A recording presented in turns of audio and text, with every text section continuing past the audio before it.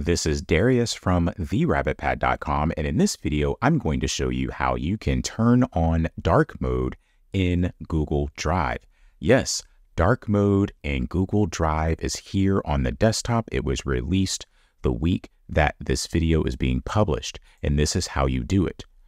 If you did not get a pop-up when you signed into Google Drive or you dismissed it and want to install dark mode later, this is what you do you click on this gear in the upper right hand corner called Settings, and then you click on Settings.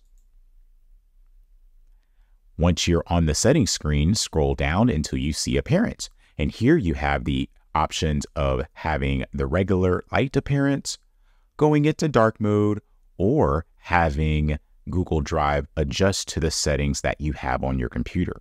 So if I want dark mode, I will click dark mode. And now Google Drive is in dark mode. Now, let's suppose that you have settings on your device to change from light mode to dark mode depending on the time of day. This is where device default comes in handy.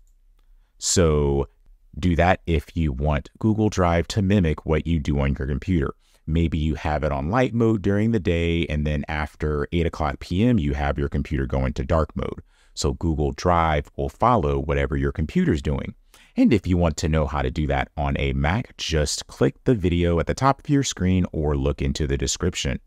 So this video shows you how to activate dark mode in Google Drive. If you found this video helpful, please click that like button and subscribe to this channel to view more helpful videos in the future. Also, please be sure to visit my website at therabbitpad.com.